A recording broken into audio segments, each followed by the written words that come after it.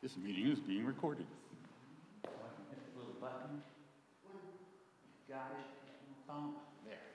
Okay, uh, so this week uh, we have changed things up a little bit. We have put the announcements in the back of your service booklet. Uh, so, folks at home, if you didn't download the service booklet, uh, most of the announcements are also in the messenger. So you've got two opportunities, messenger or back of bulletin. Um, I will make a note of just a few important things that I want you to know about from here. Uh, and the most important is that we have a guest preacher this morning, Abby. Many of you have seen her, but many of you have not heard her. So she is going to preach for us this morning. Um, her bio is in the bulletin if you want to get to know her.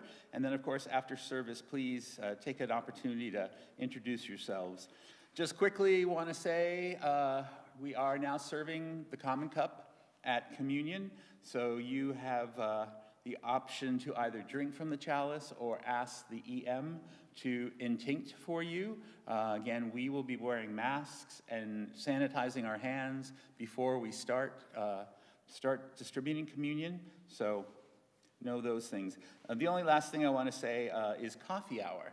Um, we have coffee hour now. Uh, there is a sign up sheet now, um, also online, but I don't understand how that works, so somebody else will have to explain it to you all. Um, but again, we will have coffee hour, and my little joke is uh, we will have coffee hour, but if there's no volunteer for coffee hour or volunteers, then there'll be no coffee. And coffee hour without coffee is just an hour. So, anyway. Uh, I'm now going to ask everyone, both here in the sanctuary and at home, to just take a moment of silence and to open up your hearts and your minds and your souls to the presence of the Holy Spirit. And after a moment, we will um, hit the bell and then begin this morning's service with the Litany of Penitence.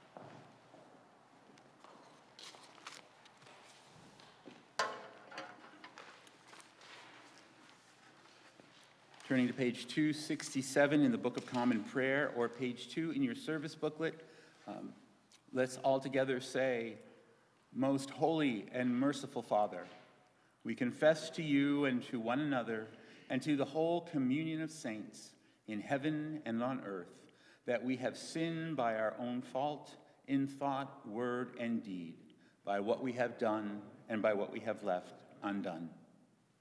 We have not loved you with our whole heart and mind and strength. We have not loved our neighbors as ourselves. We have not forgiven others as we have been forgiven, saying together, Have mercy on us, Lord. We have ignored your call to serve as Christ served us. We have not been true to the mind of Christ. We have grieved your Holy Spirit. Have mercy on us, Lord. We confess to you, Lord, all our past unfaithfulness, the pride, hypocrisy, and impatience of our lives. We confess to you, Lord, our self indulgent appetites and ways, and our exploitation of other people. We confess to you, Lord, our anger at our own frustration and our envy of those more fortunate than ourselves. We confess to you, Lord our intemperate love of worldly goods and comforts, and our dishonesty in daily life and work.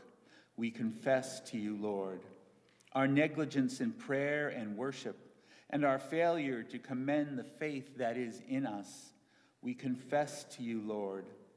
Accept our repentance, Lord, for the wrongs we have done and for, and for our unwillingness to see human need and suffering and our indifference to injustice and cruelty. Accept our repentance, Lord. For all false judgments, for uncharitable thoughts towards our neighbors, and for our prejudice and contempt towards those who differ from us. Accept our repentance, Lord. For our waste and pollution of your creation and our lack of concern for those who come after us. Accept our repentance, Lord. Restore us, good Lord, and let your anger depart from us. Favorably hear us, for your mercy is great. Accomplish in us the work of your salvation, that we may show forth your glory in the world. By the cross and passion of our Son, of your Son, our Lord, bring us with all your saints to the joy of your resurrection. Bless the Lord who forgiveth all our sins. His mercy endureth forever. Lord, have mercy upon us. Christ, have mercy upon us. Lord, have mercy upon us. The Lord be with you, and with thy spirit. Let us pray. Almighty God, who seest that we have no power of ourselves to help ourselves, keep us both outwardly in our bodies and inwardly in our souls, that we may be defended from all adversities which may happen to the body, and from all evil thoughts which may assault and hurt the soul through Jesus Christ our Lord, who liveth and reigneth with thee and the Holy Spirit, one God, forever and ever. Amen. Now please be seated for the reading of the lessons. The first reading for today is from the book of Exodus. Moses was keeping the flock of his father in law Jethro, the priest of Midian he led his flock beyond the wilderness and came to Horeb, the mountain of God.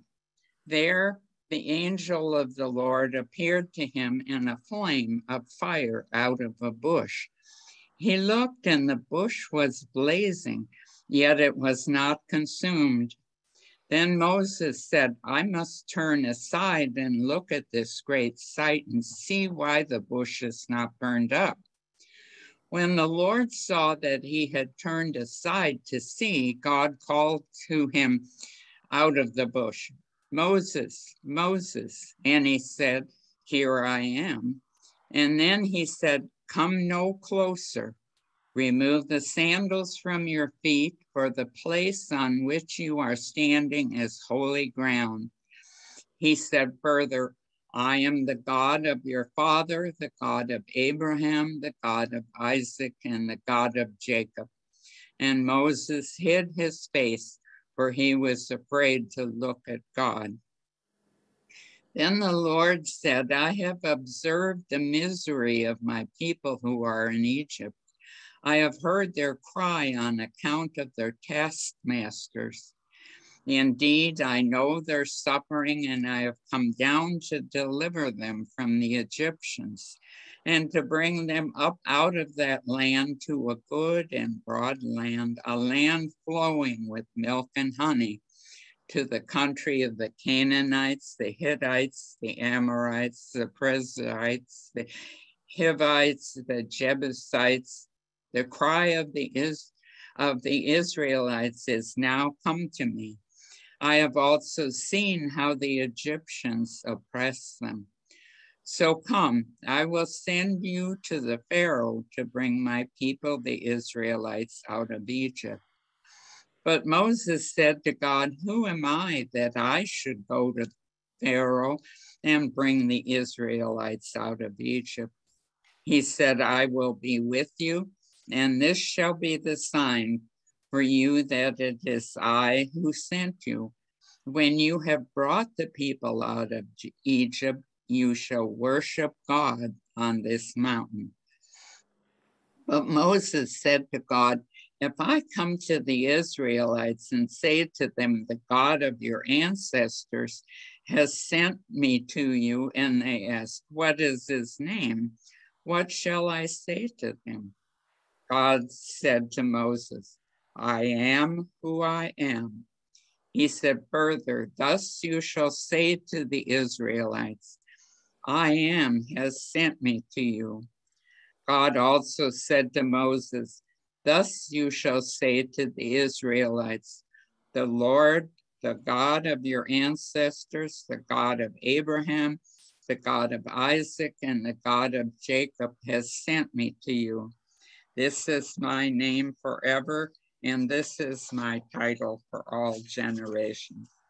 The word of the Lord. Thanks be to God.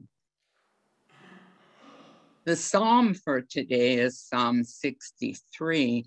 It's on page 670 in the Book of Common Prayer. O God, you are my God. Eagerly I seek you.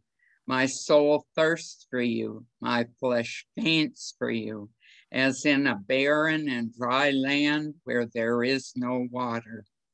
Therefore, I have gazed upon you in your holy place, that I might behold your power and your glory. For your loving kindness is better than life itself. My lips shall give you praise.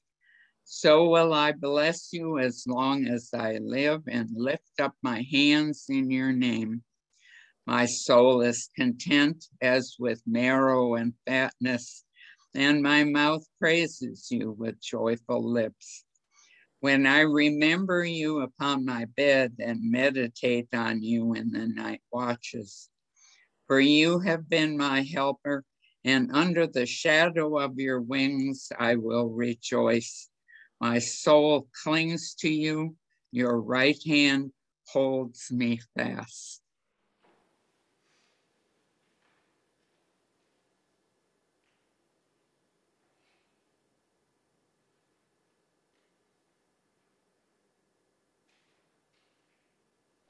The epistle is taken from St. Paul's letter to the Corinthians. I do not want you to be unaware, brothers and sisters, that our ancestors were all under the cloud and all passed through the sea, and all were baptized into Moses in the cloud and in the sea. And all ate the same spiritual food, and all drank the same spiritual drink.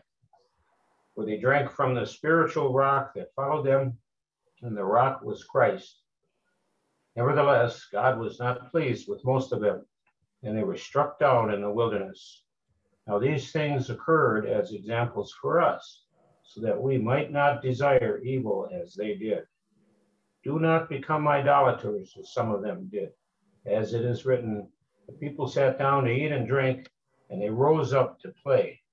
We must not indulge in sexual immorality, as some of them did, and 23,000 fell in a single day. We must not put Christ to the test, as some of them did, and were destroyed by the serpents. And do not complain as some of them did and were destroyed by the destroyer. These things happened to them to serve as an example, and they were written down to instruct us on whom the ends of the ages have come. So if you think you are standing, watch out that you do not fall. Know, no testing has overtaken you that is not common to everyone. God is faithful, and he will not let you be tested beyond your strength. But with the testing, he will also provide the way out so that you may be able to endure The word of the Lord. Thanks be to God.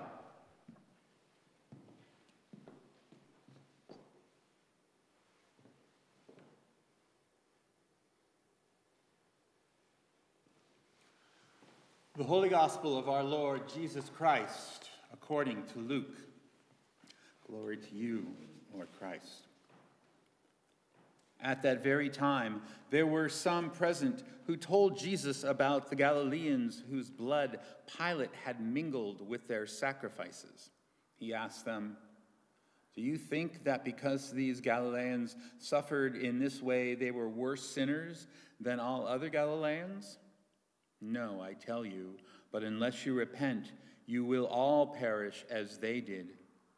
For those 18 who were killed when the tower of Siloam fell on them, do you think that they were worse offenders than all the others living in Jerusalem? No, I tell you, unless you repent, you will all perish just as they did. Then he told this parable A man had a fig tree planted in his vineyard, and he came looking for fruit on it and found none. So he said to the gardener, See here, for three years I have come looking for fruit on this fig tree, And still I find none. Cut it down. Why should it be wasting the soil? He replied, Sir, let it alone for one more year until I dig around it and put manure on it. If it bears, fr- if it bears fruit next year, well and good. But if not, you can cut it down. The gospel of the Lord. Praise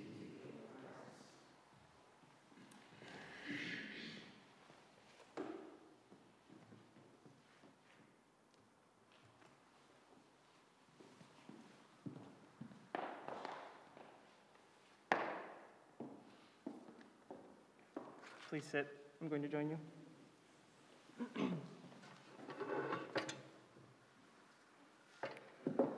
Good morning. Good morning. A lot of familiar faces here, but just in case. My name is Abby Mulcahy. Let's take this off. I've gotten so used to having a mask on. Again, my name is Abby Mulcahy, and I'm a member of the congregation here at St. Gabe's. I joined you in the summer in the midst of pandemic mayhem from Good Samaritan in Corvallis. If I'm not familiar to you, that's because I usually attend the 8 a.m. All of you have no excuse. Uh, but I'm generally in the back room running microphones and cameras. You likely have heard Everett say my name in the midst of the service should something need adjusting. All of that said, it's good to be with you. I must confess, Lent is my favorite part of the year. As a child, my first real memories of church are Ash Wednesday. It was such a strange experience. My family went to church every Sunday, but going to church in the middle of the week was a rare occurrence. Add to that getting dirty on purpose in the middle of the service, and while I was convinced we had entered some magnificent topsy turvy land, the somber music and muted lighting were warm and comforting in the midst of bleak winter just outside the church doors. After the joy of Christmas and the frantic ecstasy of Mardi Gras, I always look forward to the Lenten months. I find myself craving the time for quiet contemplation. The practices of our faith tradition, in particular fasting, abstinence, and prayer, make it so that I appreciate more what I have and focus less on what I do not. Each year, I find myself wanting to dive deeper, but just as I begin to tip over the precipice and lose perspective, the great crescendo of the Passion draws me back and sweeps me into Easter, overjoyed, if a bit baffled, by the lights, colors, sounds, and celebration. We're not there just yet. Right now, we're coming up on the midpoint of Lent. It's March 24th this year, if you're counting. And I find myself reflecting what have I set in motion to prepare for Holy Week, for Easter? What do I still need to do? Our gospel today comes from the 13th chapter of the book of Luke. If you heard today's reading and thought to yourself, what in the world? You're not alone. Sacrifices of the Galileans, the Tower of Siloam, I've also heard it called Siloam, you decide. What's all of that about? At face value, all I really got was repent, repent, repent. Often this is referred to as the repent or perish chapter of Luke. And there's a temptation here to fall into a fire and brimstone sort of reading to try to scare or shame us all into turning it around. Don't worry, this isn't that sort of sermon. From where I'm standing, there's more to the story, I guess sitting. I'd like to put this into context, or at least try.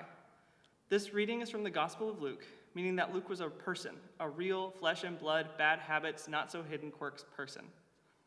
In order to talk about what he wrote, we need to talk about him. Let's start with these three things. First, Luke was a physician.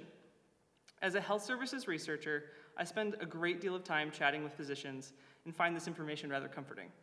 This is a man of science and God. This is a man I can talk to. Second, Luke was not one of the 12 who followed Jesus. Instead, he, like us, was dependent on the knowledge and traditions he learned from eyewitnesses to Jesus' life. Like us, Luke knew the details of Jesus' life and ministry through the stories of others. Third, Luke was likely from Antioch, which is in modern day Turkey. This means that he, unlike Jesus and the disciples, was not a Palestinian. Instead, Luke was probably a Gentile and was heavily influenced by Greece and Rome. Luke's gospel is unlike the others. Those of you who have read the Iliad or the Odyssey will recognize Luke's gospel as Hellenistic in style. He opens his gospel with a literary prologue addressed to the reader. He calls the reader, calls us, Theophilus, and this word translates to friend of God.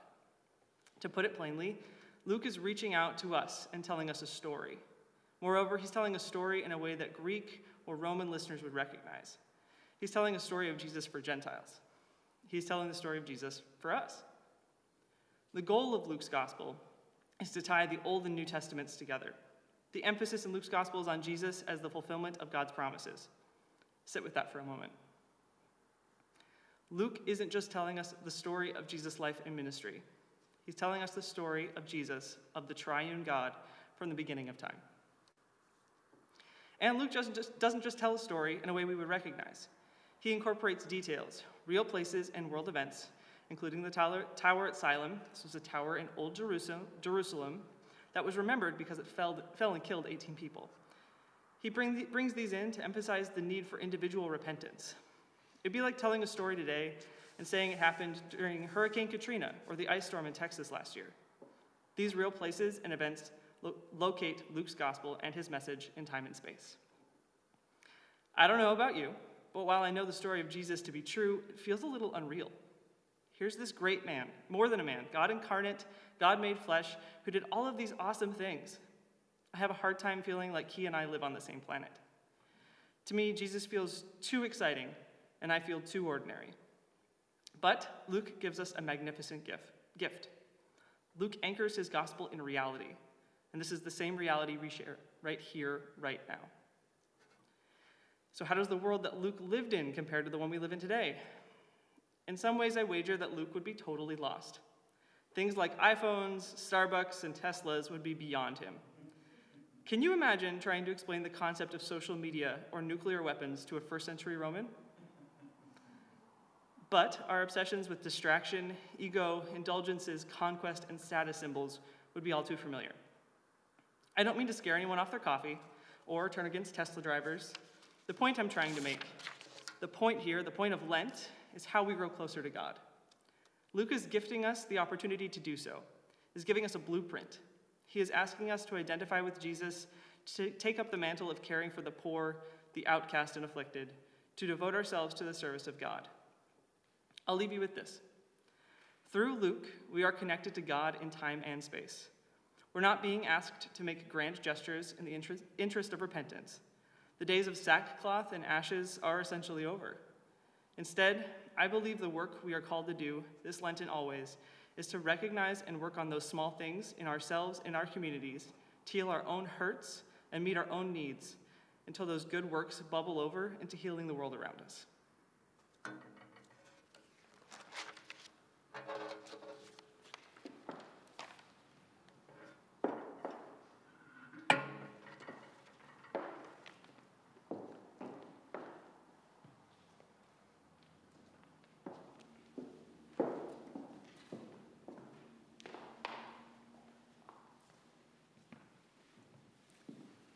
So I think I probably should have given Abby a little bit more of an intro. This was her first time preaching. Um, and she is in the process of, perhaps we can call it pre discernment, um, to see if God is calling her to the priesthood. So for me, this was a very important point in Abby's spiritual life. So thank you, Abby, very much. And you can sit, you don't have to keep standing. At least not yet. Um, so I just wanted to let you all know that. I remember the first time I preached, I was terrified. Um, but in doing so, in preaching before a group of people, it was an incredibly powerful experience. So watching and listening to Abby preach just called back all of that. Ooh, hearing the voice of God and being like, okay, yeah, maybe, maybe. All right, so with that post introduction, I ask you all to stand here in the sanctuary and at home prepare so that we may, pro- we may proclaim our faith in the words of the Nicene Creed. We believe in one God, the Father, the Almighty, maker of heaven and earth, of all that is seen and unseen. We believe in one Lord, Jesus Christ, the only Son of God, eternally begotten of the Father, God from God, light from light, true God from true God begotten, not made, of one being with the Father. Through him all things were made. For us and for our salvation, he came down from heaven. By the power of the Holy Spirit, he became incarnate from the Virgin Mary and was made man. For our sake he was crucified under Pontius Pilate. He suffered death and was buried. On the third day he rose again in accordance with the Scriptures. He ascended into heaven and is seated at the right hand of the Father. He will come again in glory to judge the living and the dead, and his kingdom will have no end. We believe in the Holy Spirit, the Lord, the giver of life, who proceeds from the Father and the Son. With the Father and the Son, he is worshiped and glorified. He has spoken through the prophets. We believe in one holy, Catholic, and Apostolic Church. We acknowledge one baptism for the forgiveness of sins. We look for the resurrection of the dead and the life of the world to come. Amen.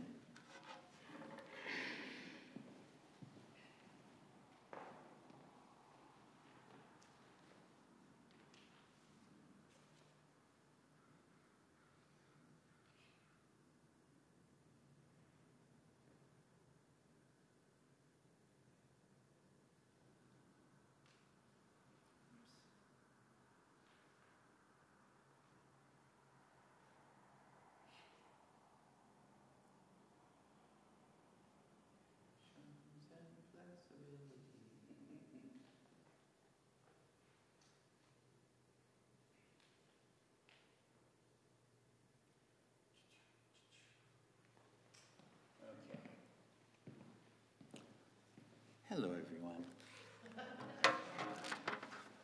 I know Jim is supposed to do the prayers of the people, but it looks like we're having a, a little glitch. That's okay. God still loves us.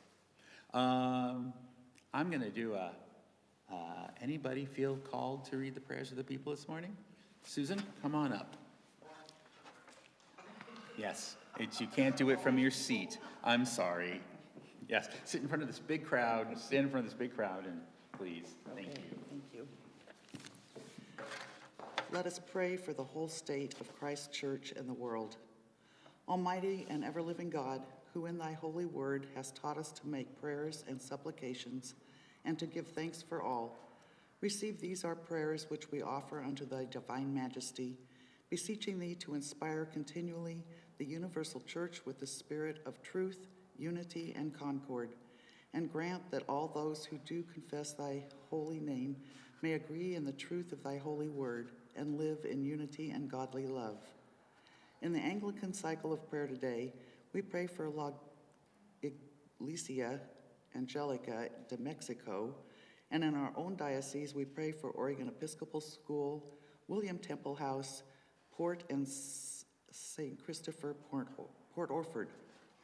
Give grace, O Heavenly Father, to all bishops and other ministers, especially for our presiding bishop, Michael Curry, our bishop, Diana Akiyama, for our parish clergy, Reverend Everett, Deacon Tom, Deacon Roger, that they may both, by their life and doctrine, set forth for thy true and lively word, and rightly and duly administer thy holy sacraments. And to all thy people give thy heavenly grace, and especially to this congregation here present, that with meek heart and due reverence they may hear and receive thy holy word, truly serving thee in holiness and righteousness all the days of their life.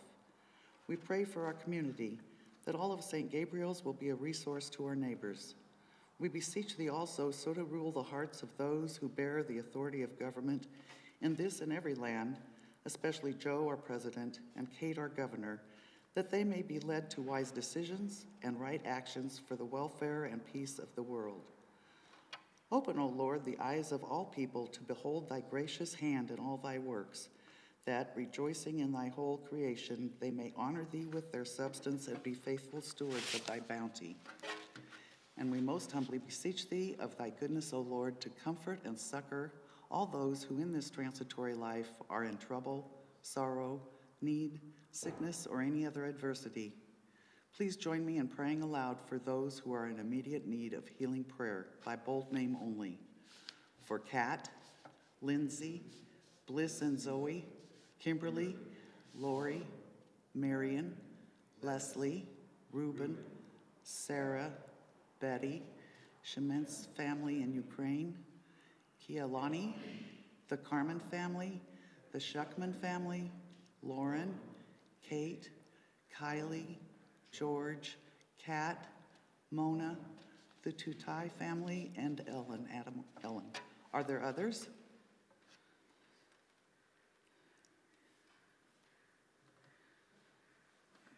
And we also bless thy holy name for all thy servants departed in this life, departed this life in thy faith and fear, especially beseeching thee to grant them the continual growth in thy love and service, and to grant us grace so to follow the good examples of Saint Gabriel and of all thy saints, that with them we may be partakers of thy heavenly kingdom.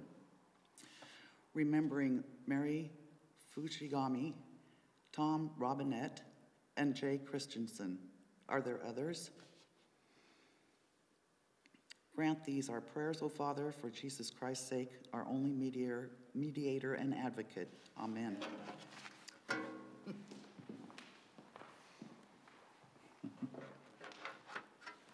Ask you now, everyone here and at home, to please join me in the prayer for Ukraine. God of peace and justice, we pray for the people of Ukraine today. We pray for peace and the laying down of weapons. We pray for all those who fear for tomorrow, that your spirit of comfort would draw near to them. We pray for those with power over war or peace, for wisdom, discernment, and compassion to guide their decisions.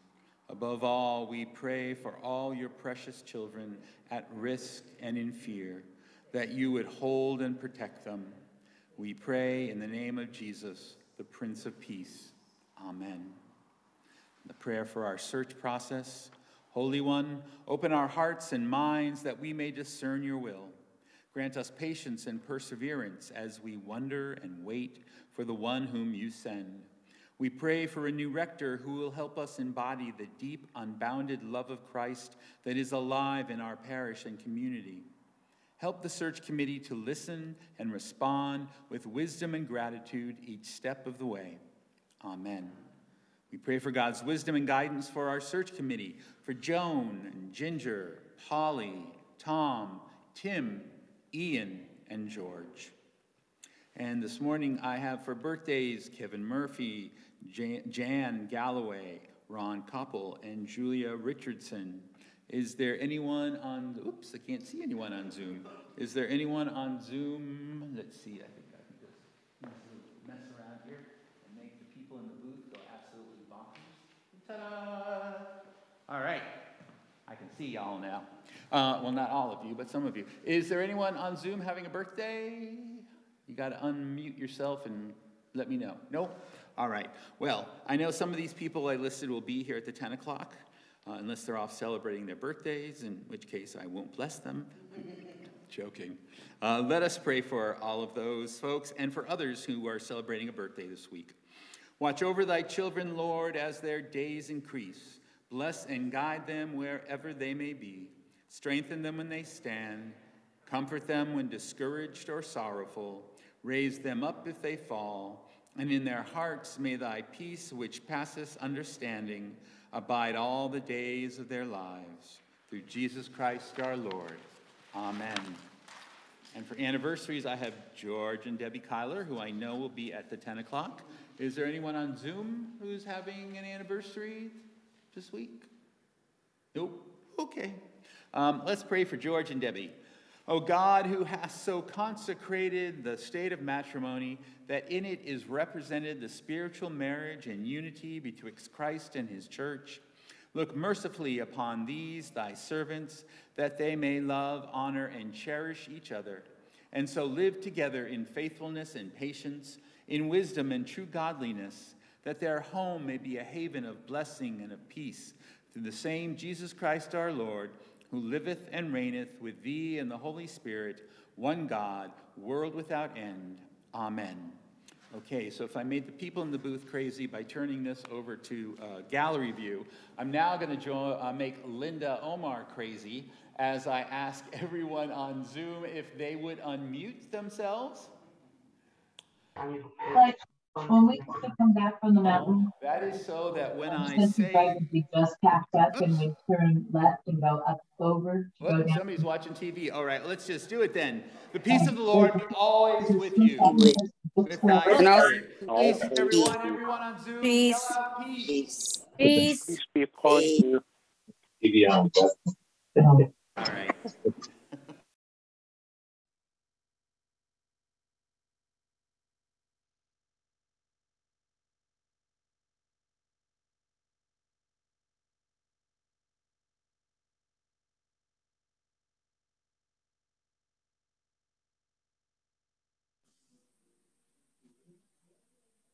Everett, unmute, please. Everett. Unmute me. Sorry, Becky. It is my job to drive people who do the technology here uh, absolutely bonkers. So I'm sorry about that, everyone, but I just got to hear your voices and see your faces.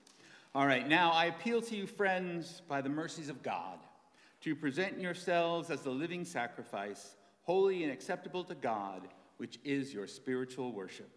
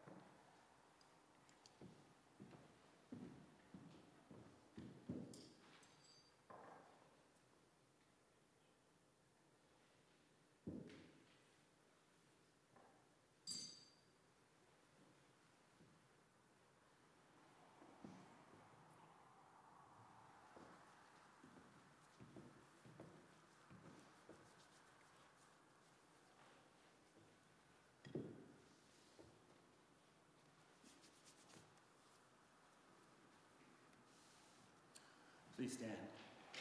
Turning to page 333 in the Book of Common Prayer or page 8 in your service booklet. The Lord be with you and with thy spirit. Lift up your hearts. We lift them up unto the Lord. Let us give thanks unto our Lord God. It is meet and right so to do. It is very meet, right, and our bounden duty that we should at all times and in all places give thanks unto thee, O Lord, Holy Father, Almighty, everlasting God. Because in the mystery of the Word made flesh, thou hast caused a new light to shine in our hearts, to give the knowledge of thy glory in the face of thy Son, Jesus Christ our Lord.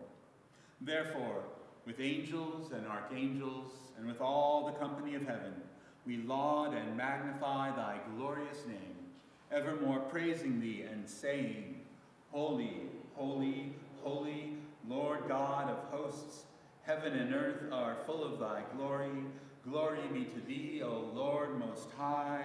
Blessed is he that cometh in the name of the Lord. Hosanna in the highest.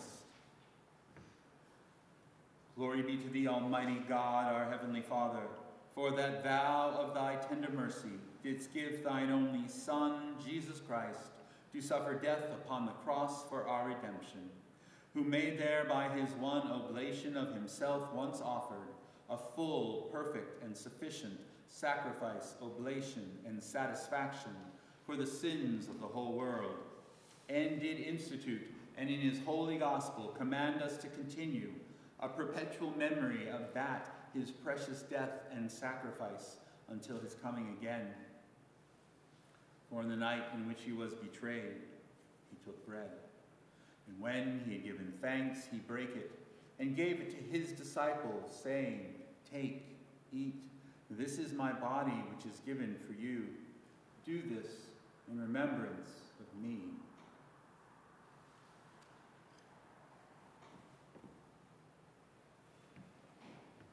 Likewise, after supper, he took the cup, and when he had given thanks, he gave it to them, saying, Drink ye all of this, for this is my blood of the New Testament, which is shed for you and for many for the remission of sins. Do this as oft as ye shall drink it, in remembrance of me.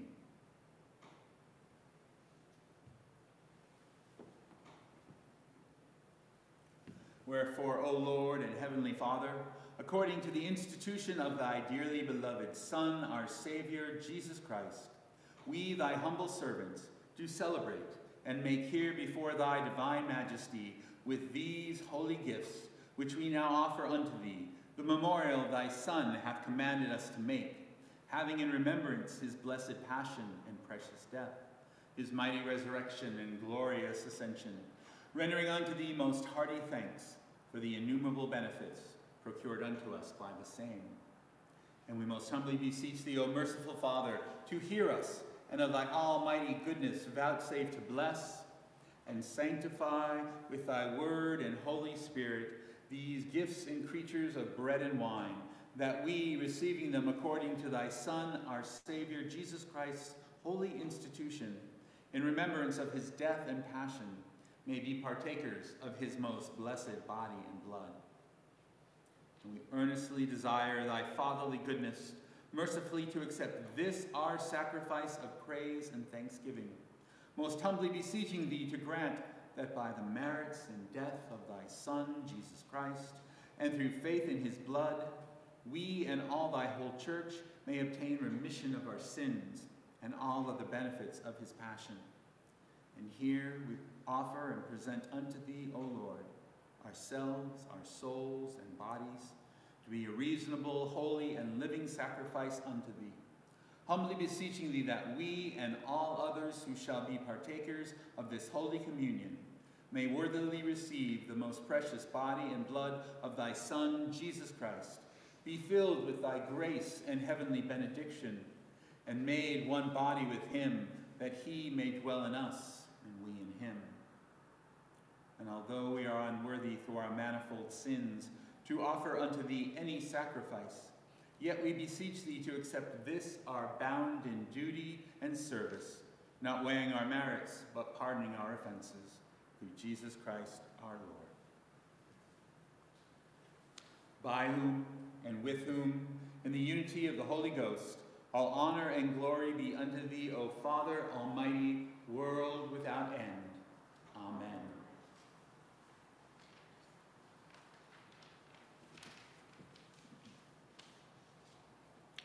And now, as our Savior Christ hath taught us, we are bold to say, Our Father, who art in heaven, hallowed be thy name. Thy kingdom come, thy will be done, on earth as it is in heaven. Give us this day our daily bread, and forgive us our trespasses, as we forgive those who trespass against us. And lead us not into temptation, but deliver us from evil. For thine is the kingdom, the power, and the glory, forever and ever. Amen.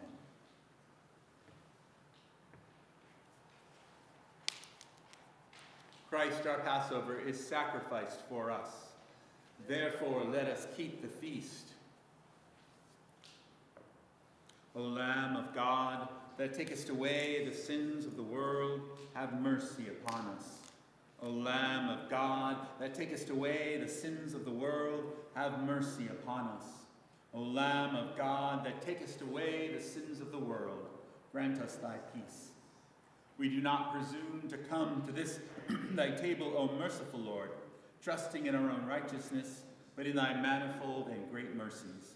We are not worthy so much as to gather up the crumbs under thy table. But thou art the same Lord, whose property is always to have mercy. Grant us, therefore, gracious Lord, so to eat the flesh of thy dear Son, Jesus Christ, and to drink his blood, that we may evermore dwell in him, and he in us. Amen. These are the gifts of God for the people of God. Take them in remembrance that Christ died for you, and feed on him in your hearts by faith with thanksgiving.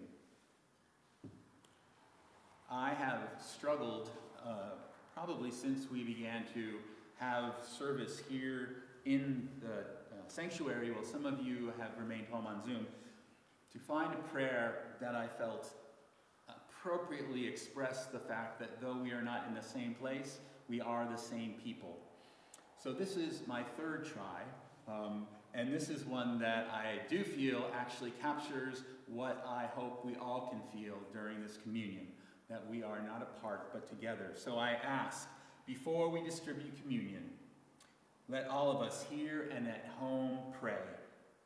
God, creator of time and space, may the love and faith which makes this the bread, the body of Christ, and this wine his blood, enfold us now. Help us to remember that we who are here and we who are at home are one family, one community of faith, and make us all one with the whole body of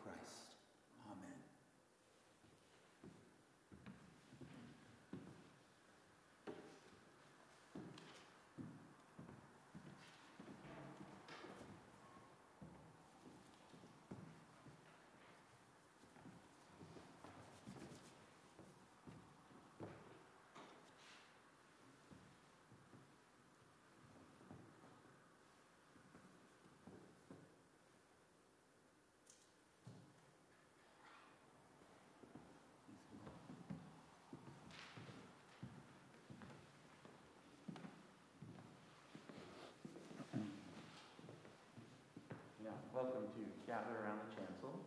Don't be shy.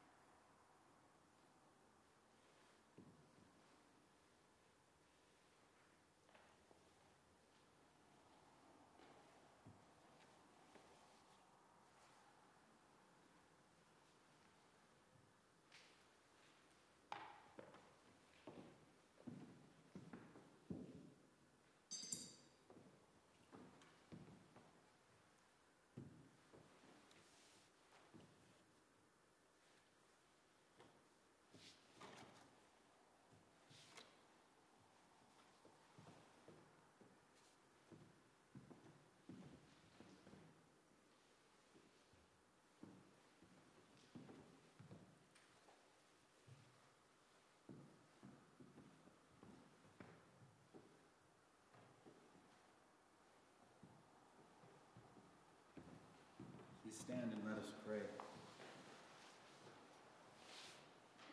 Almighty and ever-living God, we most heartily thank thee for that thou dost feed us in these holy mysteries with the spiritual food of the most precious body and blood of thy Son, our Savior, Jesus Christ, and dost assure us thereby of thy favor and goodness towards us, and that we are very members incorporate in the mystical body of thy Son, thy blessed company of all faithful people, and are also heirs through hope of thy everlasting kingdom.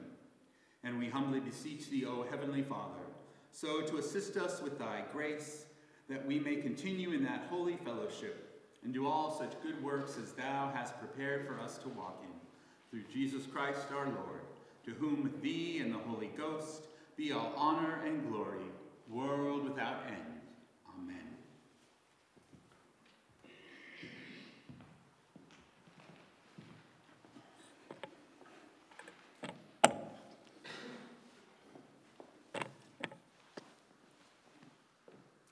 Look mercifully on this your family, Almighty God, and by your gracious by your gracious goodness, may they be governed and preserved evermore through Christ our Lord.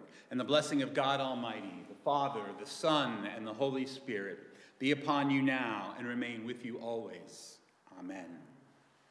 And now, my friends, let us go forth in the name of Christ.